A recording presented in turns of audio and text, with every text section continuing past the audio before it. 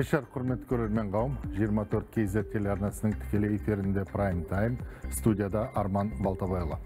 Арна тілшілері әзірлеген бүгінгі күннің қорытынды жаңалықтарын назарларыңызға ұсынамыз.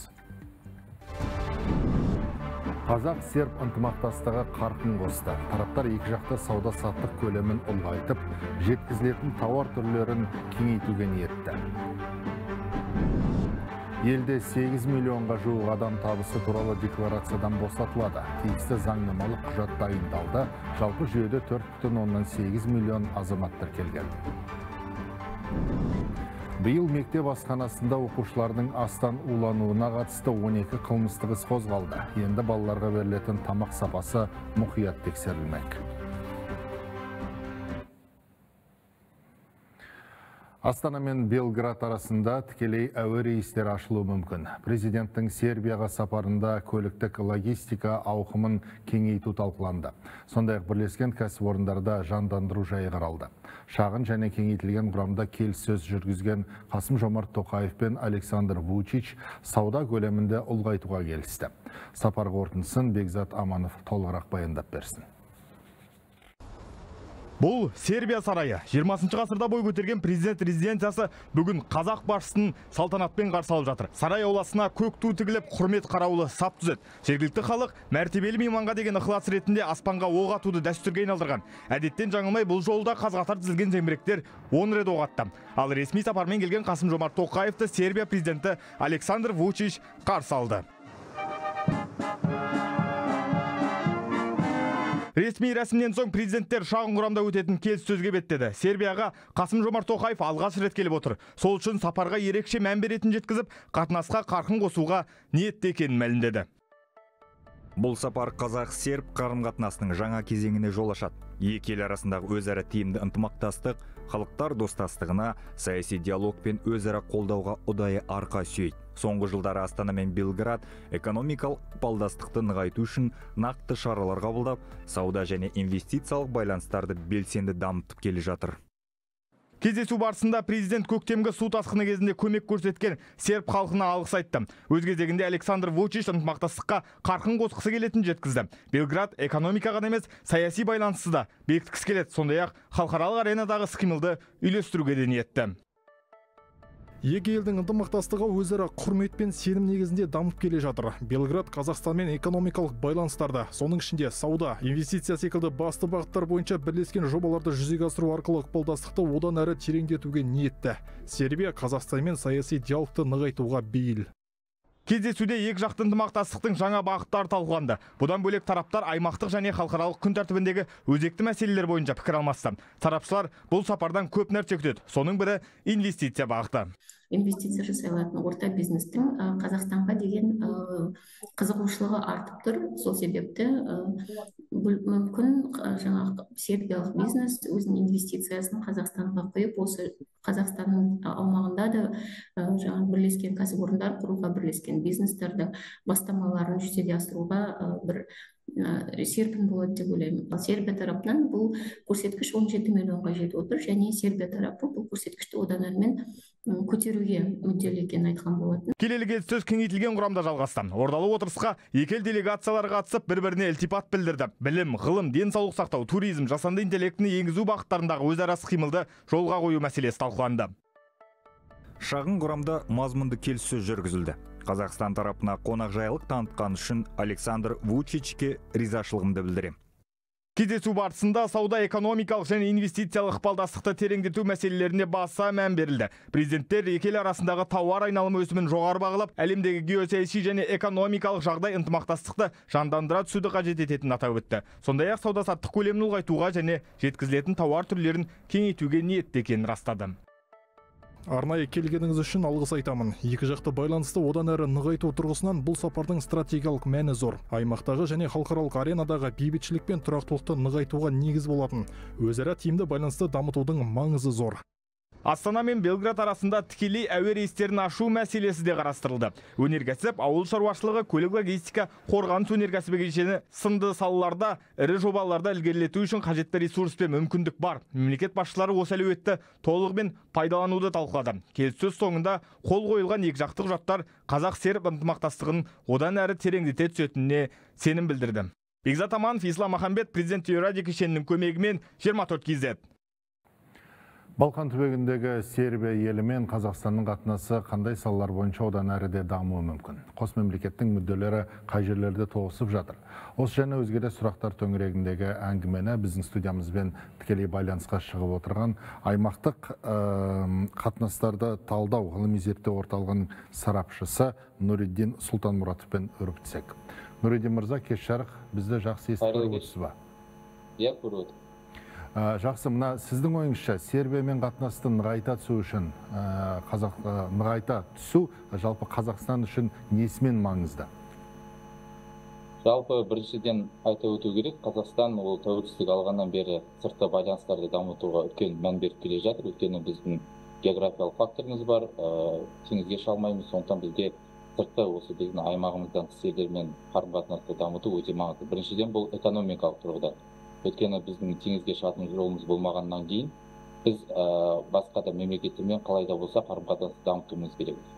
Жалпы былтырғы жылдың қорытындысы бойынша екі ел арасындағы экономикалық ә, тауар айналымы ә, жалпы байланыстар ә, дамып келе жатыр деп айтуға болады. Бірақ әлі де бұл потенциалы өте, өте жоғары оны толығымен біз іске асыра алмай отырмыз. Өйткені былтырғы жылы ол тек 93 миллион ғана доллар болды екі жақтық тауар айналымын. Оның 11 миллионы қазақстанның экспорты яғни қалғаны бөлігі яғни 80 миллионы ол сербиядан келетін импорт. Яғни бізде дисбаланс бар. Сондықтан бұл жерде қазақстан үшін үлкен мүмкіндіктер бар экспортты арттыруға. Жалпы бұл балкан аймағы өте маңызды. Бұл балкан аймағы арқылы біз басқа да еуропа елдеріне тауарларымызды сата аламыз және біз осы сербия үшін де қазақстан экономикалық тұрғыдан қызығушылық білдіреді. Ал егер саяси тұрғыдан айтатын болсақ қазақстан көп векторлы саясатты ұстайды. Яғни біз жан жақты барлық мемлекеттермен байланысты дамытуға мүдделіміз. Ал сербия бұл балкан аймағындағы өте маңызды мемлекеттердің бірі. Жалпы екі мемлекеттің ұқсастығы бар. Екі мемлекетте теңізге шығар жолы жоқ. Бірақ дегенмен де бұл сыртқы байланысқа сыртқы саясатқа әсерін тигізеді екі мемлекетте де бұл яғни маневр жасап қалай да болса осы сыртқы байланысты балансты ұстап тұруға тырысады.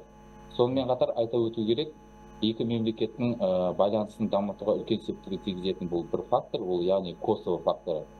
Қазақстан бірқатар мемлекеттермен бірге бұл косовоның тәуелсіздігін мойындаған жоқ. Яғни сербия үкіметі бұл үшін қазақстанға өте өзінің ризашылығын білдіреді. Өйткені қазақстанның сыртқы саясатындағы қағидаты яғни біз халықаралық нормаларға сүйенеміз. Яғни бұл тұрғыда ә, яғни өзін өзін ә, тәуелсіз деп таныған мемлекеттерді яғни халықаралық нормаға қарсы болған мемлекеттерді ә, біз мойындамаймыз. Бұл оңтүстік осетия абхазия болсын косово болсын тайвань болсын басқа мемлекеттерге қатысты. Және осы тұрғыдан ә, сербия үкіметі бізге өзінің ризашылығын білдіреді. Яғни біз әрқашанда бейтараптық позицияны ұстанамыз.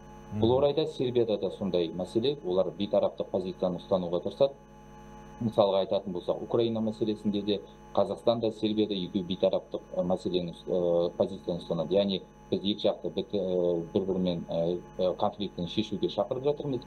Яғни біз екі жақты да қолдамаймыз біз тек қана бейбітшілік үшін. Және осы орайда екі мемлекеттің позициясы ұқсайды. Яғни біздің ортақ мүдделеріміз бар ортақ позицияларымыз бар. Осы орайда қазақстан мен сербияның арасындағы байланыстардың дамуы бұл екі жаққа екі тарап үшін де екі аймақ үшін де балкан аймағы орталық азия аймағы үшін де маңызды. Яғни сербия мен қазақстан арасындағы байланыстардың дамуы жалпы осы екі болашақта орталық азия сербияның қазақстан арқылы орталық азия мен сербия біз қазақстан үшін сербия арқылы балкан аймағымен қарым қатынастарды аймақтармен дамытуға өзінің бір септігін тигізеді деп айтуға болады. Және алдағы бұл мәселе бізде екі жақты байланысты дамыту яғни жаңағы тікелей әуежай тікелей әуе байланыстарын қалыптастыру инвестициялық мәселе және экономикалық байланыстарды одан әрі дамыту болып табылады. Нұриден мырза сіздің ойыңызша мына сербия мемлекеті біздің елімізге қай салалар бойынша инвестиция тартуы мүмкін? Біздің елімізге сербиядан яғни сербияда қандай салалар көбірек дамыған? Біріншіден ол ауыл шаруашылығы яғни ауыл шаруашылығы сосын екінші медицина саласын айтуға болады. Осы салалар бойынша біз сербиядан компаниялардың осында келуіне қызығушылық танытып яғни тарта аламыз. А екінші орай екінші ретте бұл туризм мәселесі. Яғни екі жақты екі мемлекет арасындағы туризм мәселесін дамыту ол өте маңызды.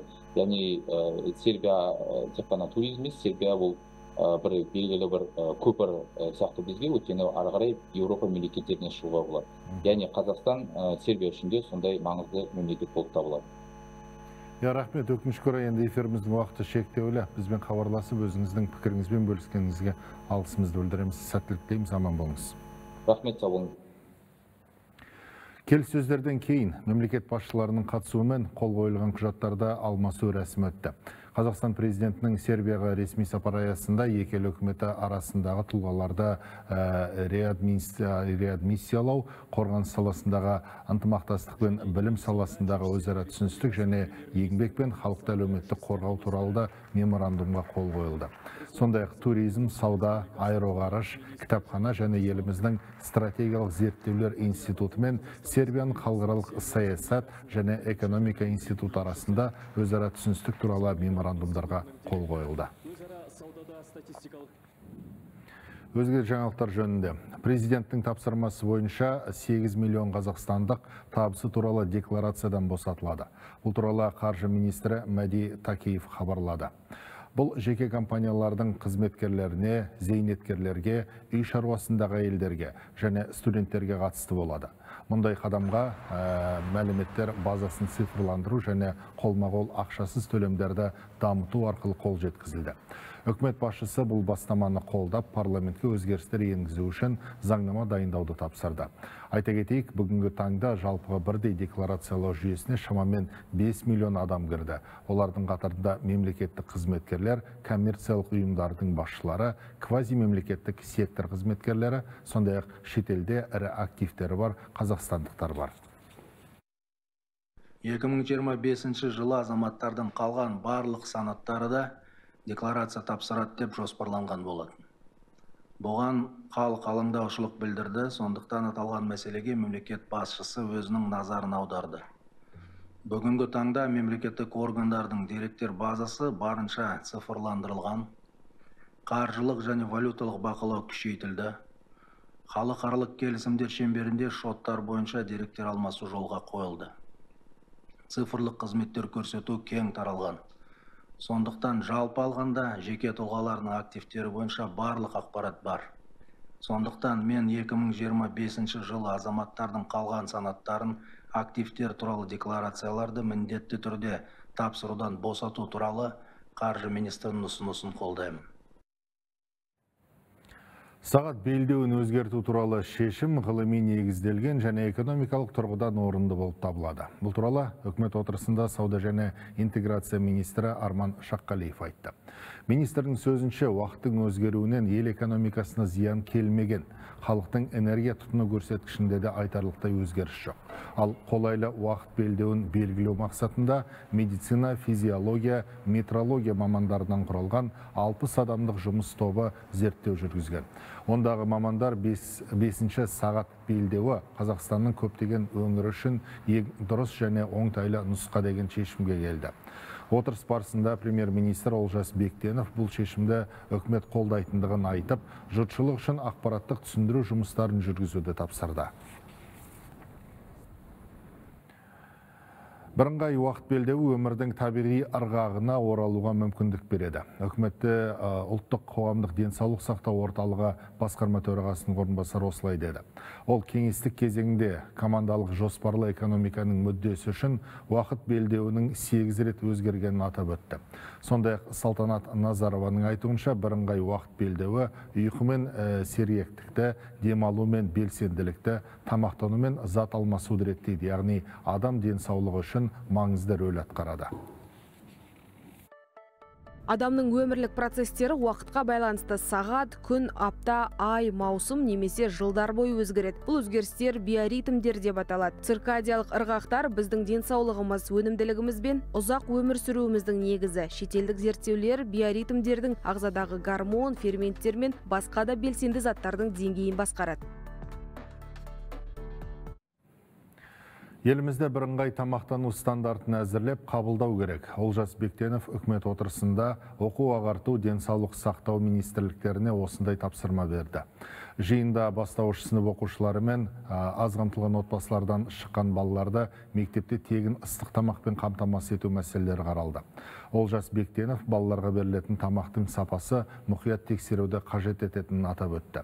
Ал оқу ағарту және қаржы министрліктеріне міндетін адал атқармаған жеткізушілер тізілімін автоматтандырып, жауапсыз мердігерлердің әкімшілік жауапкершілігін белгілеу жөнінде шаралар қабылдау тапсырды әкімдіктер мектеп асханаларының материалдық техникалық базасын жақсарту мәселесін ерекше бақылауға алуы керек. Сонымен қатар инфляция деңгейін ескере отырып тамақтану құнын қайта есептеу және оған қосымша қаражат бөлу қажет деді үкімет басшысы. Еліміздегі мектеп асханаларының санитариялық жағдайы қалай? Талапқа сай ма? Бұл тақырыпты қазір студиямызға келген әріптесім айнұр қуатқызы шолып шықпақ. Айнұр кеш жарық ә, сонымен еліміздегі барлық мектептің балалары тегін тамақтану жүр ме осы жөнінде ақпарат бар ма өзіңізде? Арман балтабайұлы бұл сұрағыңызға мен бір көңіл көншітерлікте жауап бере алмай отырғаным. Ә, қазір сізге мына экранның алдына шығып бәрін түсіндіріп бергім келіп тұр. Ә, ел мектептерінде бір миллион жеті жүз мың бала тегін ыстық тамақ ішеді.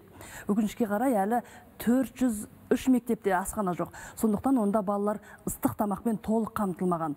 Үкімет басшысы олжас бектенов әсіресе шағын және шалғайдағы мектептерде тамақтандыру мәселесін қауіпсіз ұйымдастыру тәртібін орнату қажеттігін айтты. Яғни тамақтану саласын жақсарту мен азық түлік жеткізушілерді жауапкершілігін арттыру маңызды.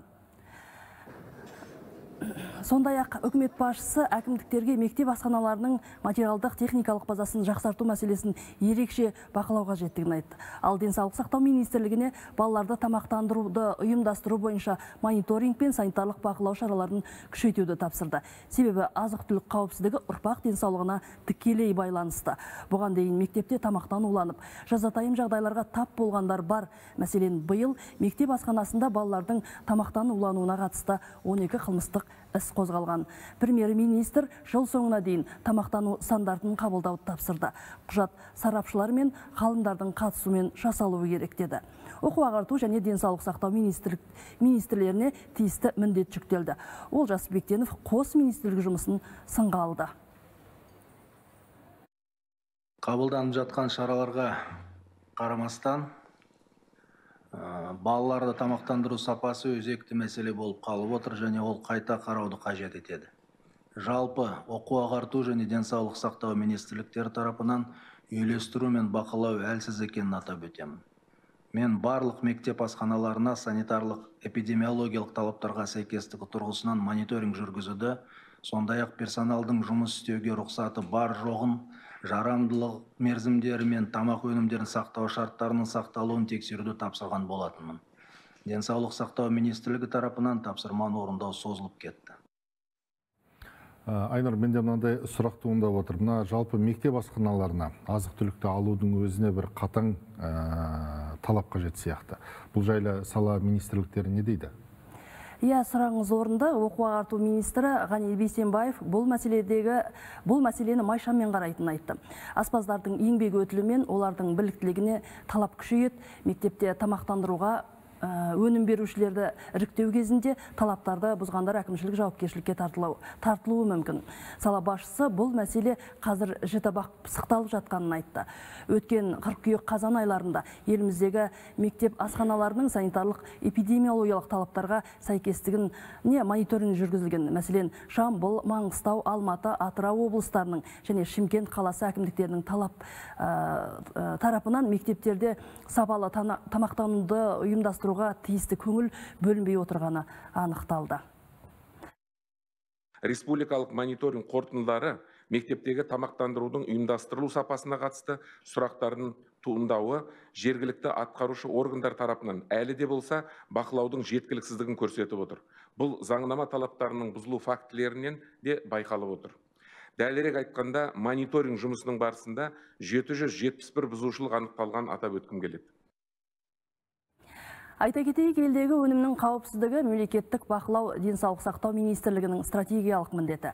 Әрі халықтың өмірі мен денсаулығын сақтауға бағытталған. Министрлік бүгінгі таңда 5 мыңнан астам өнім сынамасын бақылау, өнім сынамасына бақылау жүргізген. Оның ішінде 35 процентінің сәйкес келмейтінін анықталды. Бақылау қорытындысы бойынша 2 тоннадан астам өнім сатылымнан алынып тасталды ауыл шаруашылығы министрлігі импорттық өнімнің 34 өндірушісіне қатысты күшейтілген зертханалық бақылау енгізді. Сонымен қатар үкімет отырысында премьер министр олжас бектенов еліміздегі тауарлардың электрондық каталогын жаппай енгізу қажеттігін тапсырды. Тауарларды қадағалау қадағалауды қамтамасыз ету мақсатында жалпы сынама бекітілді. Ол шикізат пен өнімді сәйкестендіруді халықаралық стандарттарын қолдауға сондай ақ біздегі барлық каталогтарды біріктіруге бағытталған. Арман балтабайұлы бүгінгі менің шолуым осымен тәмам. Ай, Айнұр шолуыңызға рахмет. Ал біз бүгінгі үкімет отырысында тағы да өзге қандай мәселелер қаралғанын көрерменге айтып берейік. Қоғамда еңбек қорлық пен кәсіби құндылықтарды дәріптеудің маңыздылығына тоқталып, масылдық көңіл күйден арылу керек. Үкімет отырысында Олжас Бектенов жұмысшы мамандықтарын дәріптеу туралы осылай деді премьер-министр алдағы жұмысшы мамандықтар жылы ауыл шаруашылығы саласын дамытуға және ауылға қажетті мамандарды тартуға қуатты ынталандыру бола алатынын атап өтті. Біз нағыз еңбек адамдарын қарапайым жұмысшыларды еңбек әлеуеттерінің өкілдерін кәсіпорындарындағы бизнес пен мемлекеттік сектордағы тәжірибелі қызметкерлерді қолдауға тиіспіз. Оларда ауқымды қолдау жұмыстары ақпараттық кеңістікте де жүргізіліп барлық масс медиа мен әлеуметтік желілерде қозғалуға тиіс. Бұл мәдениет және ақпарат министрлігінің барлық мемлекеттік органдар мен әкімдіктердің міндеті.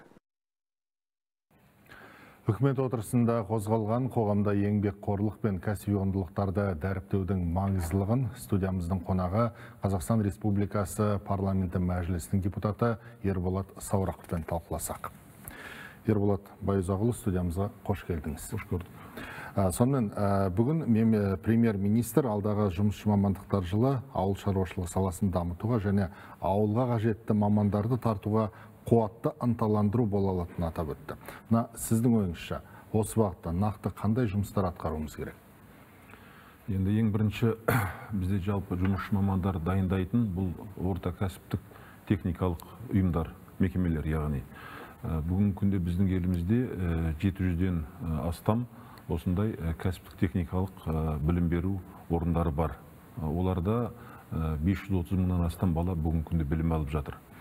Енді жалпы осы білім беру саласында кезінде президенттің тапсырмасына байланысты кәсіптік және техникалық білім алуды біз жүз пайызға дейін тегінге жеткіземіз дегенбіз. Бұл мәселе бүгінгі күнде 90 пайыз орындалып отыр. Яғни үкіметтің тарапынан жасалған мәселе өзінің қолдауын тапты. Бірақ неге әлі күнге дейін бізде жұмысшы мамандар тапшы болып отыр? Яғни менің ойымша ең бірінші біз осы кәсіптік техникалық колледждердің барлығын толық мынау қайтадан реформалау керек менің ойымша.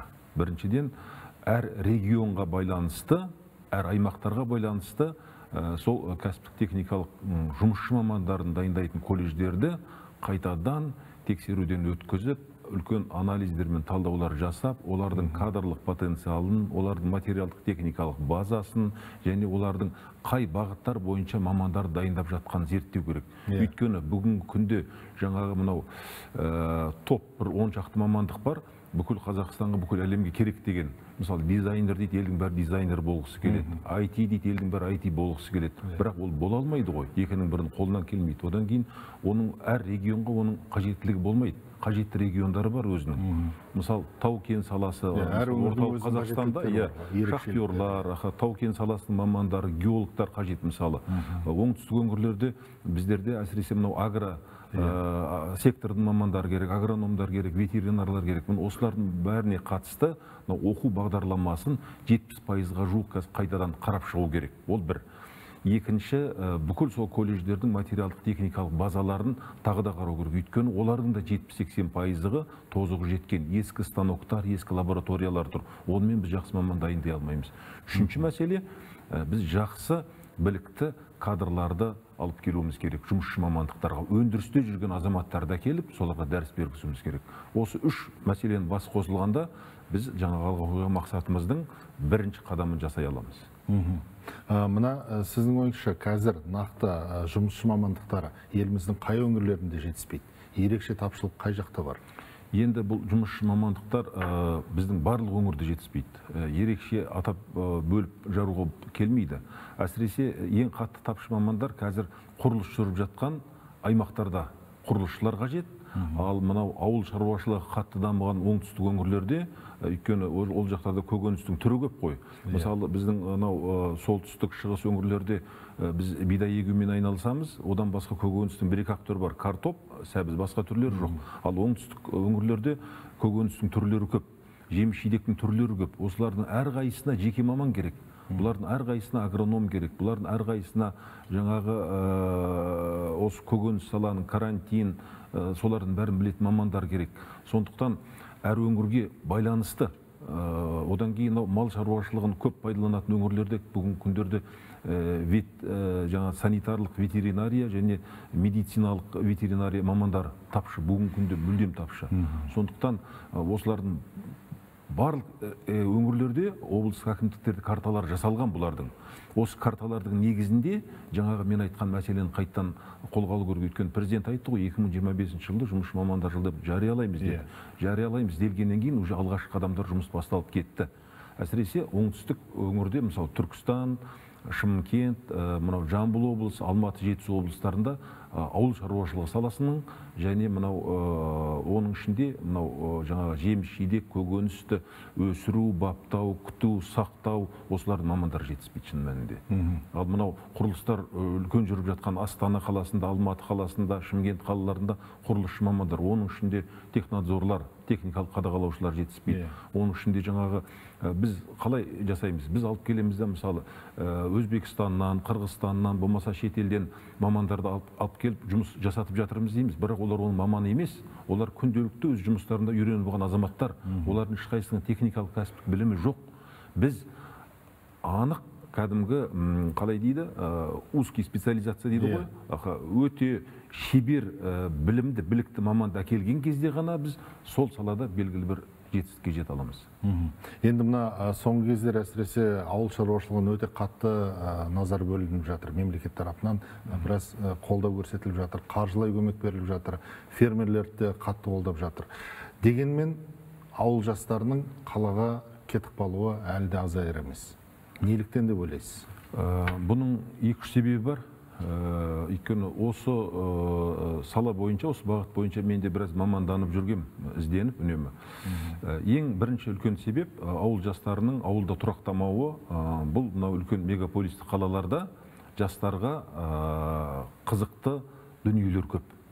Ауылда ол дүниелер қалмады. Мысалы бұрын біздер өскен кезде ауыл кеші көңілді болатын шын мәнінде. Иә. кешке ауылда кинотеатр бар етін мәдениет үйі бар етін кітапхана бар етін спорттың пәленше түрлерінен жарыстар өтіп жататын солардың барлығы ауылда ұйымдастырылатын. Сондықтан ауылдың жастары қаладан керісінше ауылға келетін. Ал қазір осы іс шаралардың көбісі атқарылмай қалды көбісінде бұлар тоқтады. Содан кейін барып жастарымыз қалаға қарай ағыла бастады. Бұл бірінші мәселе. Екінші үлкен мәселе ә, біздің жастарымызға ә, соңғы жылдары мынау білім беру гранттарын мемлекет көбейтті. Яғни қолжетімді болсын деді. Бұл енді үкіметтің халыққа жасап отқан жақсы бір жағдайы. Бірақ осыны біз дұрыс пайдалана аламыз ба? Өйткені бір орынға екі ақ бала келеді конкурсқа. Елу алпыс балл жинасаң кез келген оқу орнына түсіп кетуге мүмкіншілігің бар. Әсіресе техникалық мамандықтарға және ауыл шаруашылығы мамандықтарына. Елу алпыс Иә. балл жинасаң түсіп кетесің. Бірақ ол балалар мамандық таңдап кетіп жатқан жоқ. Балалардың жетпіс алпыс пайызы грантты таңдап кетіп жатыр. Мысалы ауылда өскен балалар машиностроение мамандығын таңдайды геологияны таңдайды тау кен істерін таңдайды. Бірақ ол ауылына қайта қайтып келе ме өйткені ол ауылда машиностроение жоқ қой. Иә. ол ауылда геология жоқ. Тау кен жоқ ол ауылда. А ол өзге региондарға бармайды. Сондықтан балалардың көбісі қалаға сытылып шығып кету үшін жаңағы ең тез түсетін мамандықты көрсетеді да сол мамандықтың егесі атанады да кете береді? Ертеңгі күні одан біріншіден стипендия төленеді. Оқу ақысы тегін болады. Жатақханасы, жатақханасы болады. и қалалық өмірге кіреді төрт жылдың ішінде бір мәнісі болады дейді. Я қайтармын болмаса қалармын деген. Болмаса екінші басқа мамандық алып аламын деген мақсатпен жастарымыз ауылдан сытылып осылай көшіп кетіп жатыр. Жақсы. Ерболат байұзақұлы шақыруымызды қабыл алып студиямызға келіп өзіңіздің пікіріңізбен бөліскеніңізге алғысымызды білдіреміз. Эфир уақыты өкінішке орай шектеулі. Аман болыңыз. Біз хабарымызды одан әрі жалғастырайық. Ә, сербиядан келіп түскен ақпаратпен жалғастырсақ. Ә, қасым жомарт тоқаев пен александр вучич бұқаралық ақпарат құралдары өкілдері үшін брифинг өткізді. Президенттер бір біріне ілтипат білдіріп кейін уағдаластықтарға тоқталды. Қазақ басшысы сербияны қазақстанның балқан түбегіндегі ниеттес әрі тілеулес сенімді серіктесі деп атады. Сондай ақ жаңа салалар бойынша ықпалдастық орната бастағанын айтты. Екі ел арасындағы сауда экономикалық ынтымақтастықты нығайту бойынша бірқатар уағдаластықтарға қол жеткізілген. Атап айтқанда инвестиция өнеркәсіп тау кен ауыл шаруашылығы денсаулық сақтау салаларына баса мән берілді. Әсіресе тараптар ауыл шаруашылығында серіктестікке серпін беруге келісті.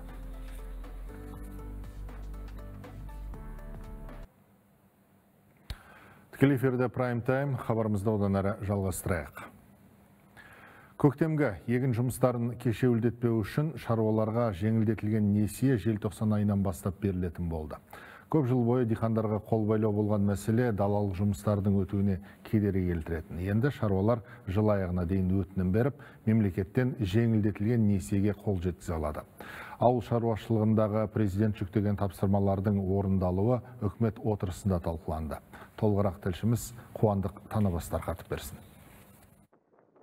Өкімет 2025 жылғы көктемгі егіс және егін жинау жұмыстарын қаржыландыру көлемін 700 миллиард теңгеге жеткізуді жоспарлап отыр. Ауыл шаруашылығы еңбеккерлерінің бірінші форумында президент аграрлық саладағы ақсап тұрған мәселелерді атаған есімізде. Әуелгісі қаржыландыру. Қағазбастылықтың машақаты мен қаржының кеш берілуі шаруаларды әуре сарсаңға салатын. Толғақты мәселе енді түбегейлі шешілді деуге болады. Аграрлық несие корпорациясы 29 қарашадан бастап 100 миллиард теңге мөлшерінде қаржыландыруды бастайды. Қазірдің өзінде 500-ден аса ауыл шаруашылығы тауарын өндірушіден өтімдер келіп түсті. Қаражат фермерге де екінші деңгейінде банктер кредиттік серіктестер әлеуметтік кәсіпкерлік корпорациялық және аграрлық несие корпорация арқылы қолжетімді болады. Биыл түрлі қиындыққа қарамастан қамбамыз астыққа толды. Күзгі жиын терімде 26 бүтін оннан 7 миллион тонна дақыл жиналды. Бұл соңғы 10 жылдағы рекордтық көрсеткіш. Ендігі мақсат осы өнімді төкпей шашпай жинап сапалы сақтау. Алайда елімізде әлі де элеваторлар мен астықты сақтау қоймалары жеткіліксіз. Экспортты еселеу үшін де тиімді инфрақұрылым жүйесі қажет. Құрық теңіз порты арқылы жүк тасымалын арттыру бойынша шаралар қабылдаудамыз құрық портында астық терминалын іске қосу жоспарланған. Сонымен қатар абу даби портс компаниясымен бірлесіп саржа көп функционалды теңіз терминалының құрылысын жүзеге асыруға қолға қалынды нәтижесінде қазақстан порттарының өткізу қабілеті жылына 30 миллион тоннаға дейін артатын болады. Президент елдегі ауыл шаруашылығы техникасын жаңарту деңгейін жылына 8-10 пайызға дейін жеткізу міндетін қойды. Үкімет келер жылы осы бағытта 200 миллиард теңге бөлуді көздеп отыр. Сондай ақ елімізде фермерлер арасында сұранысқа ие техника түрлерін шығаруға басымдық берілмек. Мәселен, комбайндарды шығару көлемі 34 пайызға, тракторлар 43 пайызға, тіркеме техникасын шығару 50 пайызға ұлғайтылатын болады ауыл шаруашылығы техникасының қолжетімділігін арттыру мақсатында келесі жылы 5 пайызбен жеңілдетілген клизинг бағдарламасына 200 миллиард теңге көзделетін болады. Сонымен қатар отандық ауыл шаруашылығы техникасын шығару көлемдерін ұлғайту жоспарлануда. Елдегі егіс алқаптарының көлемі жылдан жылға артып келеді. Өнімнің түсімін арттыру үшін сапалы әрі қолжетімді тыңайтқыштар қажет. Алайда диқандар минералды тыңайтқыштарды аз қолданады. Себебі өзімізде шығарылатын тыңайтқыштар ауыл шаруашылығын толық қамтамасыз етпейді. Сұраныстың жартысын ғана өтейді. Тұқым қорында да импортқа тәуелділікті азайту көзделініп отыр. Үкімет басшысы тиісті электрондық платформаларды іске қосуды жеделдетуді тапсырды. Яғни субсидия алу мен жеңілдіктерді пайдалану алгоритмдері фермерлер үшін барынша қарапайым және түсінікті болу керек. Бұл мемлекеттік қолдау шараларын алудың ашықтығын қамтамасыз етеді. Тағы бір айта кетер жайт 2027 жылға дейін елде бір бүтін оннан үш мың шақырым жаңа теміржол желісін салу жоспарланып отыр. Көлік министрлігінің мәліметінше нәтижесінде теміржол тасымалы бойынша экспорт 130 миллион тоннаға дейін жеткізіледі. Импорт пен транзит көлемі тиісінше 60 пайызға және 65 пайызға артады ал автокөлік тасымалдары бойынша экспорт пен импорт екі есеге транзит алты есеге артады деп күтілуде қуандық танабас нұрғали мамырбаев 24 kz Жылқы шаруашылығы институты 2025 жылы іске қосылады. Ол ұлттық аграрлық ғылыми білім беру орталығының Ақтөбе филиалы базасында орналаспақ. Бұл туралы үкімет отырысында Олжас Бектенов мәлімдеді. Премьер-министр ауыл шаруашылығы министрлігі алдына институттың толыққанды жұмыс істеуі үшін қажетті рәсімдердің барлығын осы жылдың соңына дейін аяқтау міндетін қойды. Сонымен қатар инновациялық технологияларды енгізу және агроөнеркәсіптік секторда қарқынды дамыту үшін әлемдік тәжірибені қолдануға ерекше назар аудару керегін ескертті. Еске сала кетейік, мемлекет басшысы 2028 жылы отандық тұқым қорының көлемін 80 пайызға, оның ішінде элиталық тұқым көлемін кемінде 15 пайызға дейін жеткізуді тапсырған болатын. Ұлытау облысында бір күннің ішінде мал және ет өнімдерін заңсыз тасымалдаған 25 жүргізушіге әкімшілік айыппұл салынды. Мал ұрлығына қатысты үш қылмыс ашылды. Өңірде қазір мал ұрлығы жедел алдын алу іс шарасы жүріп жатыр. Қала мен аудандарға кіреберіс жолдарға тәулік бойы жұмыс істейтін жылжымалы блок бекет қойылды. Профилактикалық шара соғым науқаны аяқталғанша жалғасады дейді тәртіп сақшылары. Жалпы облыста өткен 10 айдың ішінде мал ұрлығы 12 пайызға азайған. Республикалық маңызды жолдарда 5 жылжымалы блок бекеттері қойылды. Ветеринария саласында малдарды тасымалдау бойынша әкімшілік құқық бұзушылықтар көп орын алуда. Сонымен қатар мынау бүгінгі таңда ең басты өзекті мәселелердің бірі мынау мал ұрлығына қатысты. Тұрғындар өздерінің түліктерін жаңағы еркін жайылымдарға қараусыз жібереді. Сондықтан мынау тұрғындарға айтарымыз өздерінің төрт түлік малдарын қараусыз еркін жайылымға жібермей бағу ұйымдастыру қажет. Өйткені себебі қараусыз жүрген мал ол ең бірінші жаңа қылмыскерлердің оңай олжасы болып табылады Павлодар облысында балық ресурстарын заңсыз өндіру фактісі бойынша сотқа дейінгі тергеу басталды. Аққулы ауданның полицейлері рейттік іс шара барысында жеңіл көліктен бір тоннадан астам заңсыз ауланған Артемия Салина шаяндарын тәркіледі. Дәл осындай жағдай Ақсу қаласының ауылдық аймағында да тіркелді. Сырлығала ауылынан 15 шақырым жердегі кескен терек бөлімшесінде белгісіз біреулер Артемия шаяндарын аулаған. Аталған жайтке қатысты арнайы сараптама тағайындалды. Еске сала кетсек, өңірде браконьер жедел профилактикалық іс шарасы өтіп жатыр. Екі күн ішінде полиция қызметі табиғатты қорғау бойынша 135 заң бұзушылықты анықтап, 2 миллион теңге көлемінде айыппұл салды.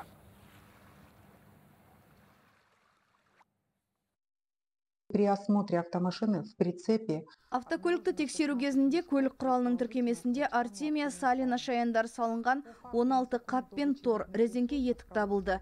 Балық ресурстарын заңсыз өндіру фактісі бойынша сотқа дейінгі тергеу жүргізілуде. Тәркіленген жәндіктер бойынша қажетті сараптама тағайындалды. Қазақстандықтар жылына орташа есеппен 4 келіге жетер жетпес балық жейді. Ал дүниежүзілік денсаулық сақтау ұйымының талабы бойынша оның мөлшері 16 келі болуға тиіс. Еліміздегі балық шаруашылығының әлеуетіне қарамастан көрші қырғызстан мен өзбекстандағы балық тұтыну көрсеткіші бізден жоғары. Осы олқылықтың орнын толтыру үшін 2021 жылы балық шаруашылығын дамыту бағдарламасы қабылданған еді. Алайда қордаланған мәселені мәселесі көп саланы ілгерілету үшін әлі де бірқатар заңнамалық түйткілді шешу қажет. Қазір мәжілісте аква өсіру туралы арнайы заң жобасы қаралып жатыр. Толығырақ бақыт топтаева тарқатады. Қазақстан жылына 25 мың тонна балық экспорттайды. Ал елімізге сырттан әкелінетіні бұдан екі есе көп, 50 мың тонна. Осыған қарамастан, әр адамның жылдық тұтыну көрсеткіші әлемдік стандарттан төрт есе аз. Осы ретте мәжілісте отандық балық шаруашылығын ширатуды көздейтін аква өсіру туралы заң жобасы қолға алынды. Жоба бойынша жұмыс комиссиясының төрағасы Сергей Пономарев ондағы новеллаларды айтып берді. Для того, чтобы большие инвесторы ірі инвесторларға каспий теңізіндегі ауқымды учаскелерді ешбір байқаусыз беруді ұсынып отырмыз. Мұндағы талап инвестиция көлемі 500 миллион теңгеден асу керек. Ал дайын шаруашылықты кеңейтуге жөндеуге бұдан кем мөлшерде қаржы құюға болады. Сонымен қатар су қоймаларын жалға беру мерзімін ұзартуды ұсынып отырмыз. Бұған дейін 5 жылдан 25 жылға дейін берілсе енді оннан 49 жылға дейін ұзартуды ұсынамыз. Ал көлдерді жалға алуын алып 5 жыл бойы балық шаруашылығын өрбітпеген субъектілерді аква өсіру жобасына жолатпаймыз дейді депутат. Айта кетерлігі балық шаруашылығын дамыту бағдарламасы іске қосылғалы 3 жылда мұндай шаруашылық саны 180-нен 500-ге дейін көбейді. Демек бизнес тарапынан қызығушылық бар дегенмен заңнамалық тұрғыдан реттелуге тиіс мәселе де жетіп артылады. Мысалы пайыздық мөлшерлемесі төмен несие жоқтың қасы. Жаңа жобада балық шабақтары мен жеміне арнайы жеңілдік пен су бағасын арзандатуға бағытталған субсидия қарастырылып отыр. Шаруаны дөңгелетуге кедергі келтірер тағы бір мәселе бар. Ол су кодексіне енгізілгелі жатқан өзгерістер дейді балық шаруашылығының басшысы марлен тұрсынәлі. Қазіргі ұсынып отырған кодекстер бірқатар балық шаруашылығын дамытуға кедергі келтіретін ә, кодекстер көрсетілді. Біз оны ашық айтып жатырмық егер су кодексі сол біздің балық шаруашылығы айтқан дүниені ескерілмей қолданатын болады қабылданып кеткен жағдайда болса онда қазіргі мына балық шаруашылығы дамымайды деген ойдамыз. Құзырлы ведомство бұл мәселеден хабардар. Мәжілістегі жұмыс тобы шаруашылықтардың мүддесі міндетті түрде ескерілетінін айтады. Әсіресе құрғақшылық кезінде олардың жұмысын жүйелі жолға қою қажет ақ. Балық өсіру субъектілері үшін су қорғау белдеулерін пайдалану мәселесі туындап отыр. Ол жерде балық өсіру тоғандарын бассейндерін салу одан кейін балық өсіру объектілерін құру бойынша мәселелер сол мәселелерді жетілдіру бойынша ана су кодексіне бір бірқатар өзгерістер ұсынылып отыр. Балық шаруашылығын кешенді дамытуда ғылымның маңызы зор. Аква өсіру туралы жаңа заң жобасы ғылыми негіз құруды міндеттейді. Сондай ақ арнайы ақпараттық жүйе түзу көзделген. Жобаның мәжілістегі бірінші оқылымы қарашаның жиырмасына белгіленген. Бақыт топтаева ержан рахманберді 24 кезі Ақтөбе облысы мен Ресей Федерациясы арасындағы биылғы тауар айналымы 1 миллиард ақш долларына жетті. Бұл облыс экономикасына тиесілі барлық тауар айналымының 32%-ын құрады. Шағын және орта бизнес өз алдына облыс аумағында бірлескен бірнеше ірі компания жұмыс істеп тұр. Тақырыпты тілшіміз толықтырады. Ақтөбе индустриялық аймағында орналасқан бұл зауыт жылына 5 миллион шаршы метр қыш плитасын шығарады. Тауардың 50 пайызы ішкі нарықта саудаланса, тең жартысы Ресейге жөнелтіледі. Кәсіпорын өкілдері Қазақстандық өнімге көрші мемлекетте сұраныс жоғары дейді. Этот завод успешно реализован. Бұл зауыт сәтті жүзеге асырылды деп айта аламыз. Сондықтан қосымша қаржы бөліп өндіріс ауқымын кеңейтуді жоспарладық. Қазір зауыттың үшінші кезеңін салуды көздеп отырмыз. Заман талабына сай жаңа плитка түрлері жасалады. Бастапқыда жылына 4 миллион шаршы метр тауар өндірсе, кейін 8 миллион шаршы метрге дейін жеткізу ойда бар. Ақтөбе Ресейдің 47 облысымен тұрақты экономикалық байланыс орнатқан. Тауар айналымы жыл санап артып келеді мәселен. Былтырғы көрсеткіш 1 миллиард 400 миллион ақш долларын құраса, биылғы жылдың 8 айының өзінде 1 миллиард ақш долларына жетіп отыр. Өсім деңгейі 21 пайызға жеткен. ақтөбе облысы ресейдің челябинский жаңағы свердловский және де деген өңірлерімен және москва қаласымен тауар айналым жоғары деңгейде тұр. Біздің экспорт жасайтын тауарларымыз сол руда түрінде медь цинк және хром рудасы. Ал біз ресейден қазіргі таңда қантты экспорт импорт жасап жатырмыз басқа да полуфабрикаттарды. Қазір Ақтөбе облысында Ресей мен Қазақстандық 700-ге жуық бірлескен кәсіпорын бар. Қос тарап металлургия мен жеңіл өнеркәсіп, құрылыс және көлік логистикасы салаларын қамтыған. Өңірде жаңа өндіріс орындарын салуға ниетті инвесторларға да мүмкіндік мол. Тиісті инфрақұрылыммен қамтылған Ақтөбе индустриялық аймағынан бөлек көлемі 800 гектар болатын жаңа экономикалық аймақ құрылысы аяқталуға жақын. Мансұр Есқожин, Болатбек Молдағалиев, Айбек Дауытов, Ақтөбе 24 кезі. Шетел жаңалықтары. Израиль әскері Ливанға қарсы шабуылын тоқтатар емес. Бүгін еврей армиясы Бейрут орталығын нысана қалып, Шия ауданындағы төрт қабатты ғимаратты дронның көмегімен жермен жексен еткен. Бұл туралы жергілікті бақ өкілдері хабарлайды. Тағы бір әуе соққысы Ливан үкіметінің штаб пәтер орналасқан ауданға жасалған. Соның салдарынан 5 адам көз жұмды, 31 адам жарақат алды. Тағы екеуі із-түссіз жоғалғандар қатарында. Жалпы Израиль кейінгі бір апта бойы Ливан астанасын шабуылдап келеді. Хезболла да бұған жауап ретінде соққыларын үдете түскен. Бүгін аталған қозғалыс Израильдің орталық және солтүстік бөлігінде орналасқан бөлігіне ондаған зымыран ұшырды. Одан бірнеше адам жарақат алды. Газа секторында бір топ мародер гуманитарлық көмектеген жүк көліктерін тонап кеткен. Бұл туралы палестиналық босқындар ісі жөніндегі біріккен ұлттар ұйымының агенттігі хабарлады. Олардың айтуынша 109 көліктің 98-іне шабуыл жасалып, бірнеше жүргізуші ауыр жарақат алған. Куәгерлердің айтуынша бетперде таққан адамдар алдымен фураларға граната лақтырып, кейін көлік тізгіндеген азаматтарды гуманитарлық жүкті түсіруге мәжбүрлеген. Айта кетейік, азық түлік артқан колонна жоспар бойынша Керем Шалом кеден бекеті арқылы Газаға өтіп, халыққа көмек көрсетуі тиіс еді. Алайда 109 көліктің 11 ғана діттеген жеріне аман есен жеткен. Тбилиси полициясы наразылық акциясына шыққан азаматтарды күшпен таратып, шерушілер құрған шатырларды бұзды. Жергілікті бақ өкілдері таратқан ақпар бойынша ондаған адам қамауға алынған. Жексенбі күні оппозициялық партиялардың жақтастары 26 қазанда өткен парламенттік сайлаудың нәтижесінің наразылығын білдіріп, кезекті рет көшеге шыққан еді. Оппозиция мен ел президенті әлі күнге дейін оның қорытындысын мойындаудан бас тартып келеді.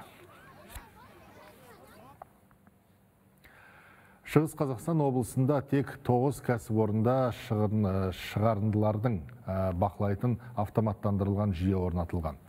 Ал қалған 15 зауыт пен фабрикада онлайн бақылау датчигі жоқ. Экологиялық кодекстің талабына сәйкес жылына 500 тонна зиянды қалдық шығаратын кәсіпорында экодатчик болуы керек құрылғыны келесі жылдың бірінші қаңтарына дейін орнату міндеттеледі. Экологтардың айтуынша риддер қаласындағы жылу электр орталығы мен өскемендегі жылу қазандықтары және қалалық су арнасы мекемесінде бұл процесс бақыланбайды. Бұл мәселені экология департаменті де көтеріп отыр. Міндеттемелер орындалмаған жағдайда кәсіпорындарға 5 миллион теңгеге дейін айыппұл салынады. Автоматсистема мониторинга. Автоматтандырылған мониторинг жүйелері негізінен біздің облыстың коммуналдық кәсіпорындарында орнатылмаған. Олар бұған жергілікті билік өкілдері тарапынан қаржыландырудың жоқтығын айтып ақталады. Экологиялық кодексте коммуналдық кәсіпорындарға қатысты ерекшеліктер қарастырылмаған. Заң барлығы үшін ортақ Атыраулық оқушылар колледжде қосымша білім алып жүр. 10-11 сыныпта оқитын 60-қа жуық жеткіншек қос деңгейлік білім беру пилоттық жобасына қатысып, аспаз, автомобиль жөндеу слесаря және электр газбен дәнекерлеуші мамандықтары бойынша білім алып жатыр. Оқушылар орта білім аттестатымен қатар мамандық меңгергені туралы диплом алады. Пилоттық жобаны қазір қаладағы үш колледж жүзеге асырып жатыр махаббат амангелдіқызы мен айназ исабай 10 сыныпта оқиды. Бүгінде мектеппен қатар колледждегі сабақтарына да қалмай қатысып жүр. Аспаз мамандығының бірінші курс студенттері келер жылы орта білім аттестатымен бірге мамандық меңгергені туралы дипломды да алады. Бұл оқушылар үшін үлкен мүмкіндік дейді жобаға қатысушылар. Мектеппен қатар оқу оқушы үшін өте үлкен мүмкіндік деп ойлаймын. Себебі біз мектеппен қатар орта білімді яғни аспазшы мамандандырылған аспазшы мамандығын бірге алып шығамыз. Мен осы колледжде үйренген тағамдарымды отбасымды қуантудамын. Үйде пісіріп сонымен қатар 11 сынып аяқтаған уақытта осы ары қарата аспазшы мамандығына жоғары оқу орнына түскім келеді. Болашақта мен бұл мамандықты жалғастырамын деген сенімдемін. Өзімнің жеке бизнесімді ашып керемет есте қаларлықтай аспаз тобын ашамын деген ойдамын. Теория сабақтары да болады және де практика. Теорияда біз көптеген тағамдар бойынша технологиялық карта құраймыз. Және де көптеген жаңа рецепттер ойластырамыз. Қос деңгейлік білім беру пилоттық жобасы былтыр жүзеге аса бастаған. Өткен жылы оқуға қабылданған 27 оқушы қазір қаладағы мейрамханалар мен кәсіпорындарда өндірістік тәжірибеден өтіп жатыр. Колледж оқытушылары биыл жобаға қатысуға ниетті жастардың көбейгенін айтады. Бұл керемет мүмкіндік. Мұндай мүмкіндіктерді біздерде қазір колледжімізде тек осы аспаз мамандығында негізі басқа мамандықтарда ашылса бұл балдарға өте үлкен мүмкіндік болатын еді. Себебі бұл мамандықпен кәсіп те ашуға өте ыңғайлы. Қазіргі таңда жас маман атамекен бағдарламалары бойынша көптеген гранттар да бөлініп жатыр. Солармен ашуға ары қарата жұмыс жасауға да болады. Оқушылар екі күн практикалық үш күн теориялық сабақтарға қатысады. Пилоттық жобаға қатысушылар аспаз автомобиль жөндеу слесарі және электргазбен дәнекерлеуші мамандықтары бойынша оқып жатыр. Алдағы уақытта мамандықтардың ауқымын кеңейту жоспарланып отыр. Асланбек шығыр амантай мәтенов жандос рахметуллин 24 кз атырау. Құрметті көрермен қауым осымен студиямызға бүгін келіп түскен жаңалықтардың реті осындай болды. Біз өздеріңізбен қоштасамыз. Келесі кездескенше еліміз аман жұртымыз тыныш болсын.